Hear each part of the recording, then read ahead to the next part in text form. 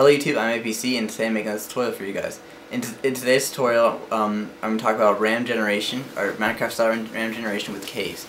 So this is based off of a tutorial I made several months ago, back in December, and um, uh, so that tutorial covered RAM generation, and after that tutorial a lot of people, um, many people uh, commented saying they wanted add-ons to it. So one of those was caves, so that's what I'm going to talk about today. So I um, did a little bit of uh, trial and error with, with, with, this, and I ended up finding a script that was able to generate decent caves in uh, along with this, this the code that I had in the previous tutorial. So without any further ado, let's start with the tutorial. I hope um, you guys find it helpful.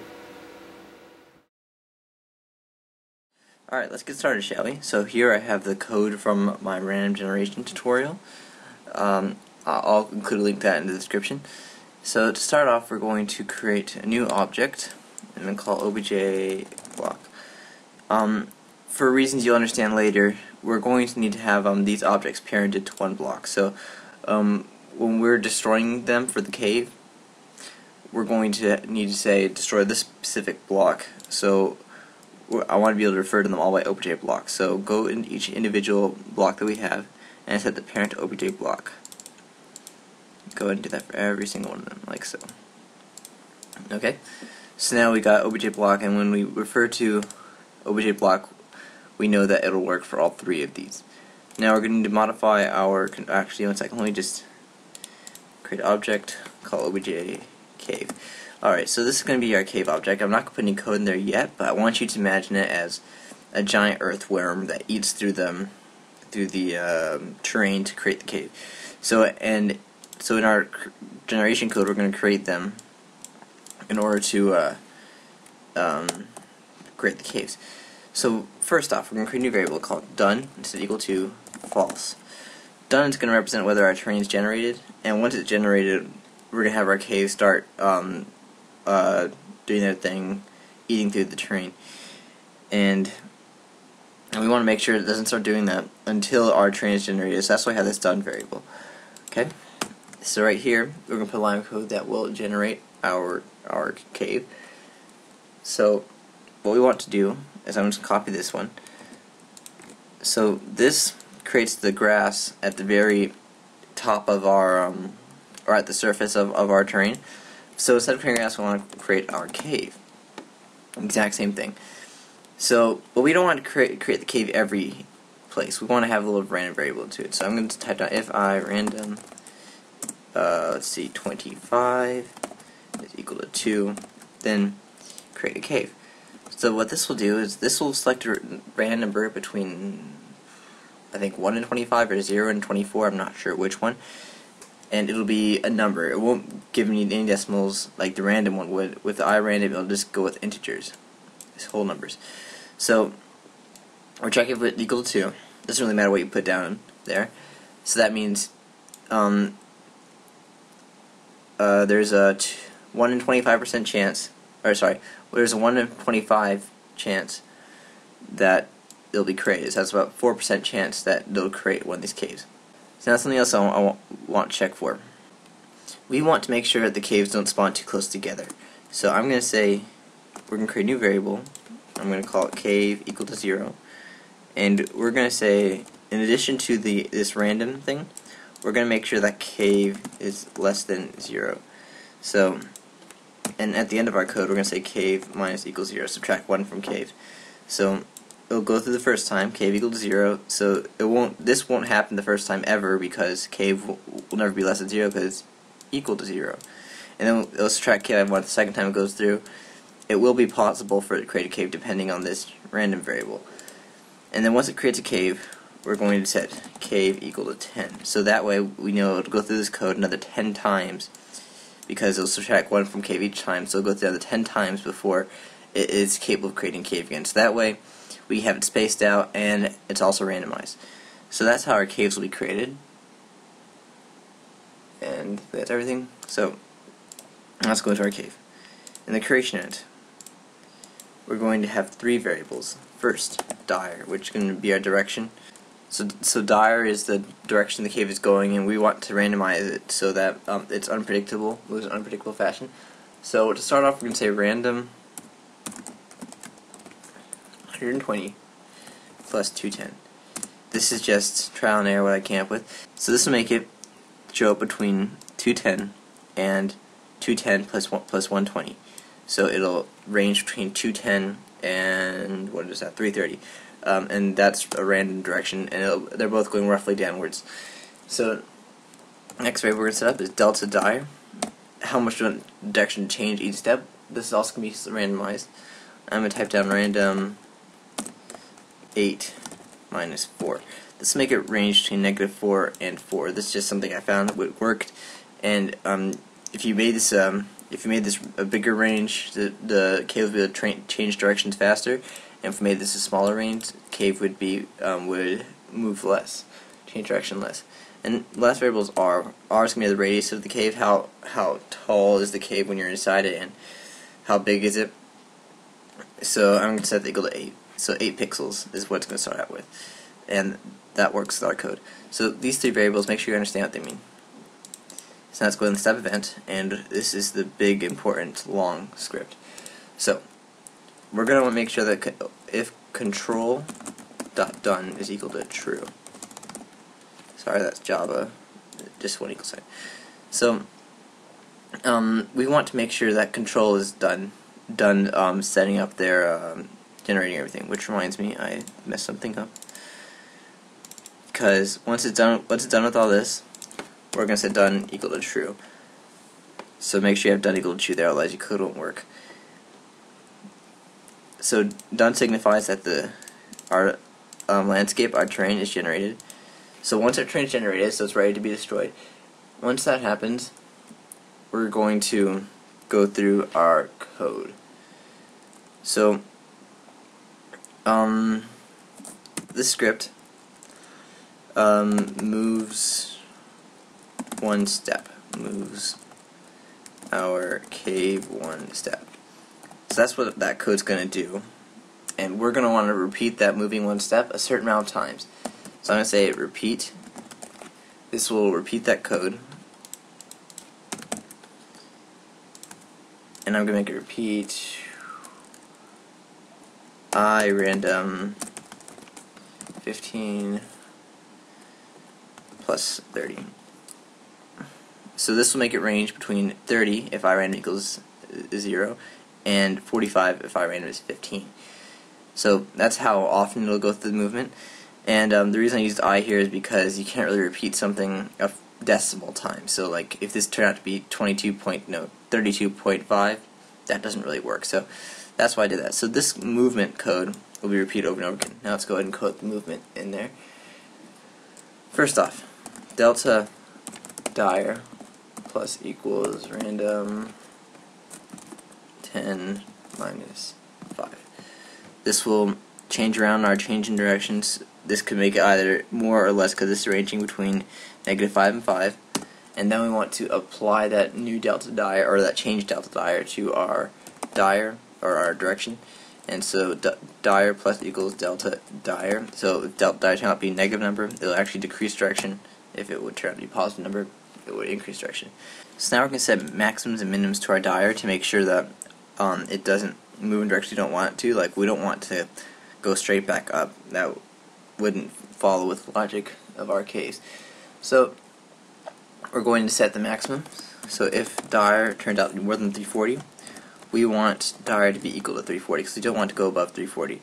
And we're going to set delta dire equal to 0 because if delta dire is a positive number, we'll get the effect where delta dire will be equal to 340 and delta dire will keep pushing up on it so it'll stay at 340 which would make it look unnatural. So that's why I said delta dire back equal to 0. So if, now set up minimums, if dire is less than 200, we're going to set dire equal to 200. And for the same reason, we're going to set delta dire equal to 0. Alright, moving right along. Now, now that we got our dire figured out, let's go ahead and, and move the, um, and change our x and y values to, to move the cave. So, x equals 8 times cosine dire times pi divided by 180. Okay. So this is trigonometry right here. You learn all, all about it in pre-calculus or, tri or trigonometry class in high school. Um, so basically what this saying is, imagine this as a triangle. I guess I'll go ahead and put up a graphic. Um, I'll go ahead and pull up Paint.net to illustrate this. Okay, so now I've just pulled up Paint.net and I'm going to illustrate to you the um, what I, uh, what we're doing in that code. So here, let me just make a, a black dot. make a bigger black dot. So that's where our cave is at right now. I'll put it right here, I suppose. So we want, so our direction, let's say our direction, oops, let's say our direction moves in somewhat of this direction. So it'll look something like that. So now we want to figure out how do you change x value. So what we're going to do is we're going to imagine our that direction as a triangle. Oops, no directional arrows anymore. As a triangle like so. And that would be a right triangle. 90 degrees right there. So um that's our triangle and everything. So now, you want to figure out how to change x. So the way we're going to do that is we have this angle right here, which is going to be equal to our dire. That's dire. And we want to figure out what the length of this bottom side is. So if we use trigonometry, we know that cosine is equal to um, cosine is equal to our adjacent side, so this side, divided by our hypotenuse, which is this side. And we want our um, this hypotenuse length to be 8, which is just a value I came up with. I'll explain a little more about later. And so we want to figure out this side. So way we can figure that out is, so we know that cosine of dire is equal to um, the adjacent side divided by hypotenuse side. So we're going to call that adjacent side x because that's what we're trying to find, and we'll divide that by the hypotenuse. So by that logic, we can multiply both sides by 8 and find that x is equal to cosine of dire. There we go. And we can find the the change in y via similar means. We sine is opposite of hypotenuse, so sine is equal to our y value. Sorry, the sine of our angle dire is equal to uh, y divided by 8, and then we can multiply both sides by 8 to get 8 times sine of dire, and that's equal to y. So that's how you find our change x change in y, and that's how that works. So go back to GameMaker now. Alright, so that's our code here. 8 is equal to x is equal to 8 times cosine dire. And this here, multiplying by pi divided by 80, is a simple conversion. Um, in GameMaker and basically in programming language and in calculus and everywhere, cosine functions take radians, not degrees, and dire, our direction, is in degrees, ranging between 0 and 360, while radians range between 0 and 2 pi. So I'm just multiplying by pi divided by 180 to convert it over to radians. That's all that is. So we'll go ahead and set up y. So y is equal to 8 times sine dire times pi divided by 180. Same thing, really. So this will move our worm along, or our cave. Now we're going to set up the radius of our cave. How, how far do we want the destruction to span?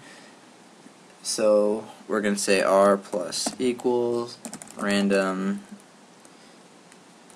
8 minus 4. So this either add 4 or this will range to negative 4 and, and 4. And that's how, how much it will increase. And um, increase or decrease and that's in pixels. And now I want to set maximums minimums to our R just like we did here with our dire. So if R is more than 24, we want R to equal 24, so that's the maximum, and if R is less than 2, we want R, oh, oh, oh, want R to equal 2. So this will make sure that the K doesn't get extremely big and eat up our whole world.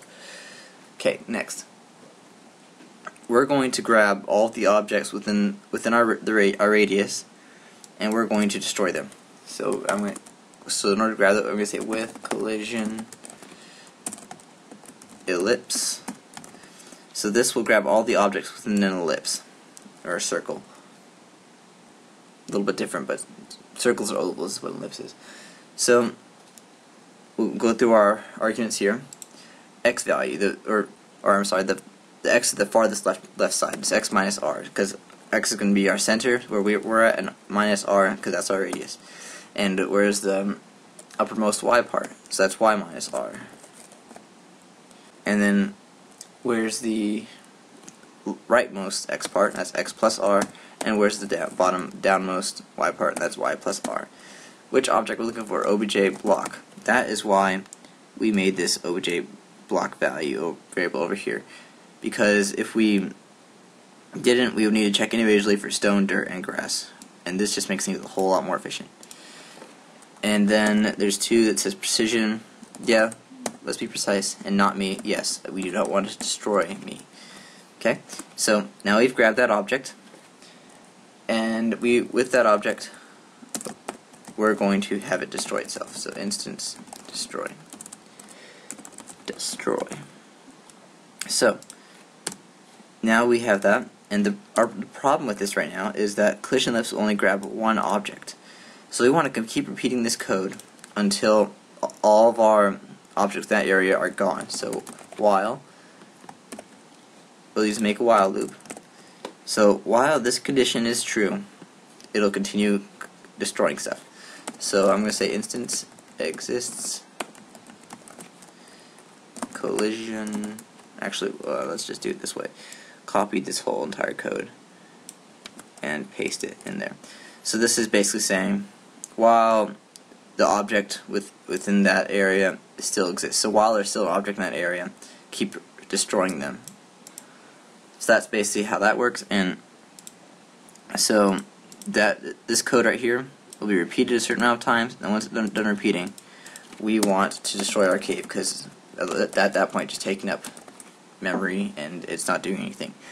So that is the entirety of our code. And now our um, random generation should include caves. So I'm going to click, click play and let's hope that works. Problem. Parentheses and stuff can be hard to keep track of sometimes. So the while loop does it turns red when I highlight it because it doesn't have any parenthesis. Instance exists and it's there the collision ellipse uses those, so there's no any parenthesis for while. We got to add that. And um, come to think of it, I missed something. This code I did slightly wrong. Um, when we were uh, doing our proof earlier, we were solving for the change in x, how much x and y should be changed. And here I set x and y equal to that. So we want them to be changed. So x plus y minus. Um, I did y minus because I'm programming the y-axis is flipped if if I were to do y plus, it would go up when I wanted to go down and down when I wanted to go up. So that's why I did the minus. Alright, so let's go ahead and test it out. Now it should work.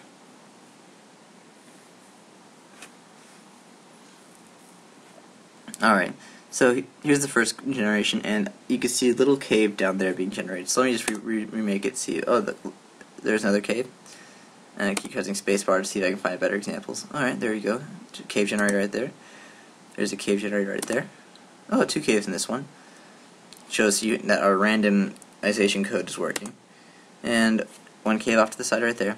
If you want caves to be more frequent or less frequent, you can change around the code at, um, uh, in the uh, control object. So here it looks like a cave was generated here on the side of that mountain. Oh, two caves here. Caves. There's more caves. Now this isn't the best code to, code to use, but this is the best one I was able to figure out. I hope you found it helpful, and that's basically the end of the tutorial. I hope, um, hope to see you guys next time, and uh, have a nice day. I've been getting many comments um, asking for additions to that tutorial. Michael, stop smiling, please. You're, you're distracting me. Oh. Sorry, Michael. It's in the picture. Oh.